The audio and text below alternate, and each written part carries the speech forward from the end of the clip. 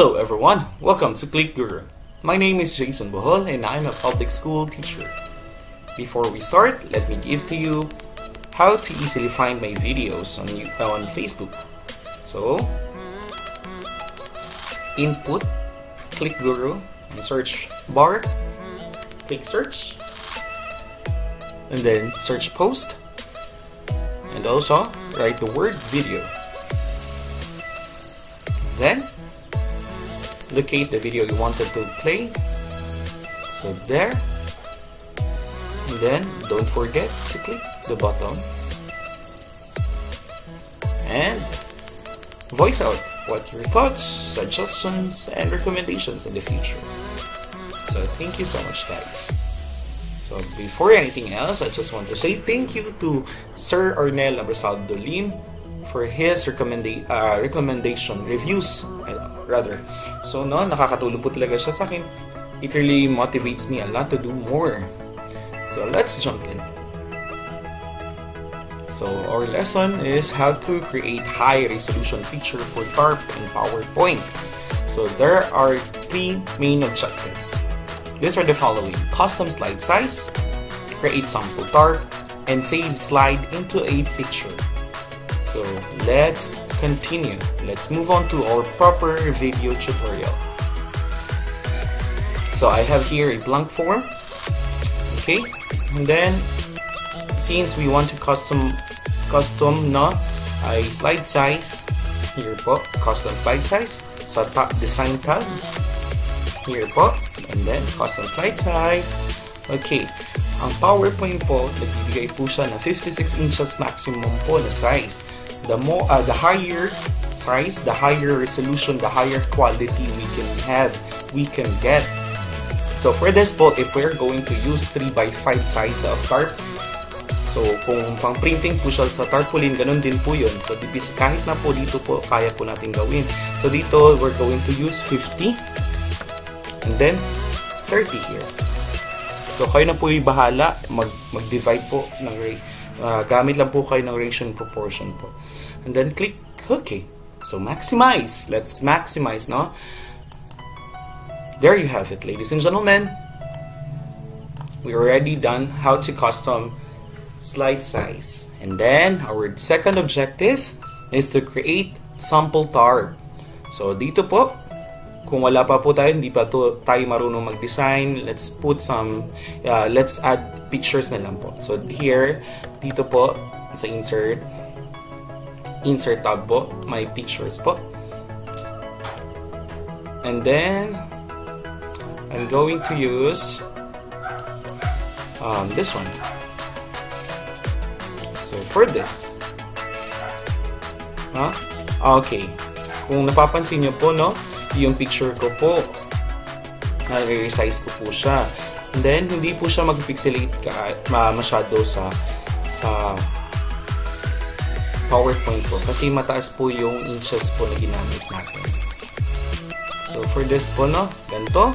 And then, add some text. So we say, kapag lalagyan ko po siya, wag na wag po kayo gagamit ng word art kasi po masyadong ano, old fashion na po yung ganito. Much better po yung mas modern modern style po ng mga text. Yung simple lang po.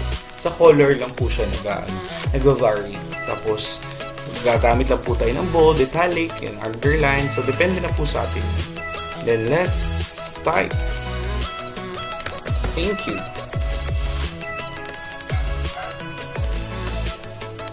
So, that's po. Paano ko po yung ginawa? Pinalaki ko po siya. Okay. Ito po, shortcut keys. Control plus Shift. And then, yung uh, greater than and less than symbol po. Malapit po sa M na key. So, ito. No? Lumalaki po siya. And then, I'm going to use... Oh, wait. Nawawala po kasi talaga yung, yung cursor ko. Let's use Century Gothic. Century Gothic po yung most common po na ginagamit ko. Thank you. And then, let's have you. So, ito po. Ito. Ito po. Thank you. And then, I'm going to use a font style like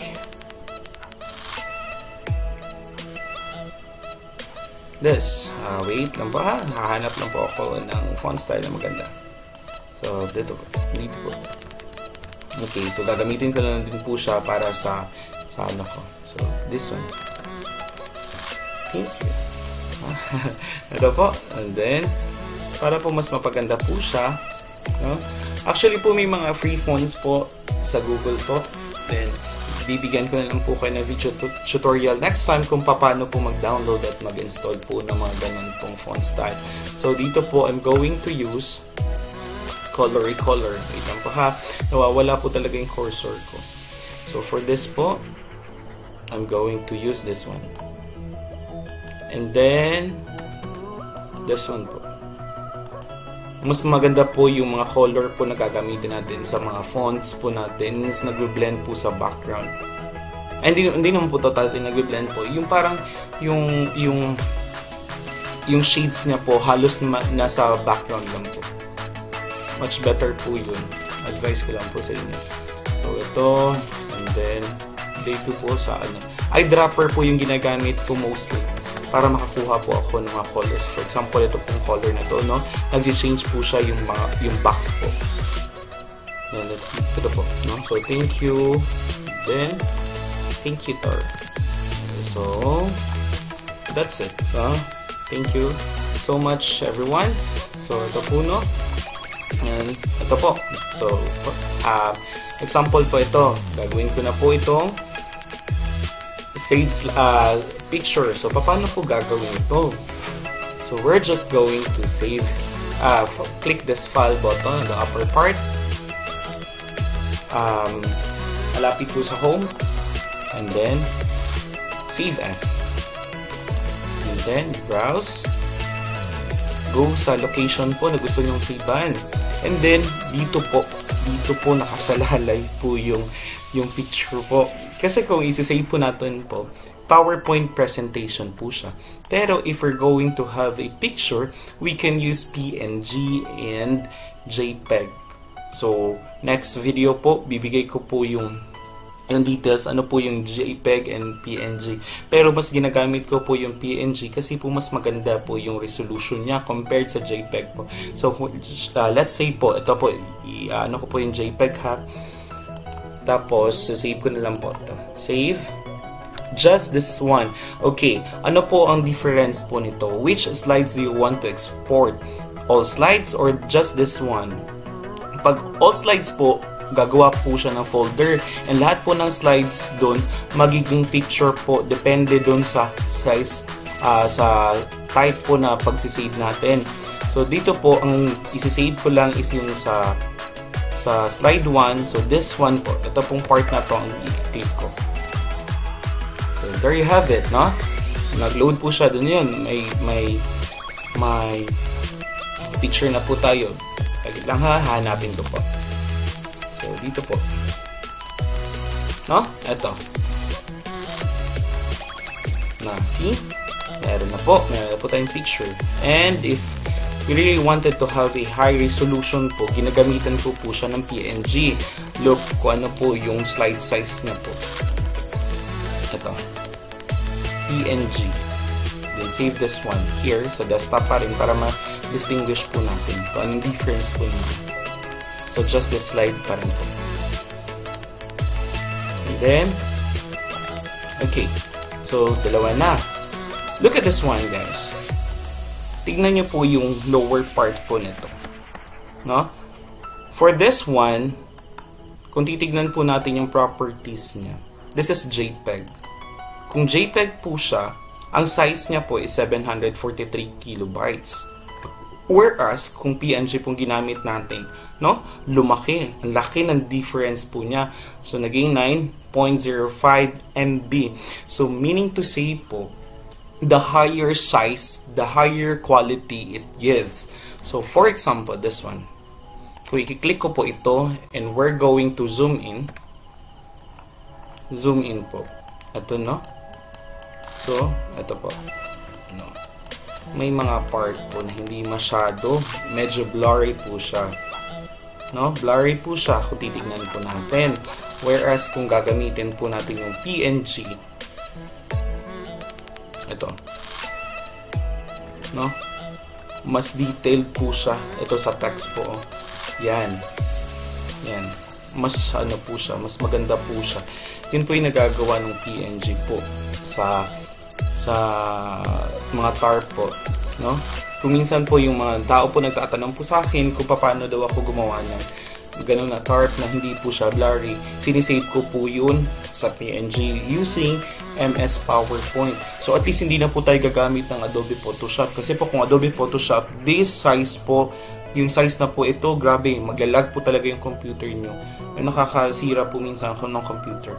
So, much better na lang po na gumamit po tayo ng PowerPoint.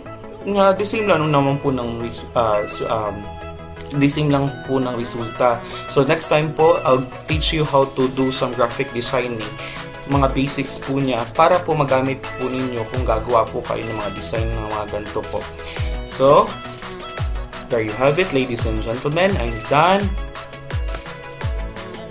So, let us review. Custom slide size, ano po yun? we go. Let's back, go back. Dito po. Sa design tab. And then slide size. Ah, sorry, sorry. So, slide size and then custom slide size dito po no gagawa po tayo ano po yun yung pinaka mataas po maximum po ng slide size is 60, 56 inches po no tignan nyo po oh. ah, may lalabas po siya enter a value from 1 into 56 inches yun po and then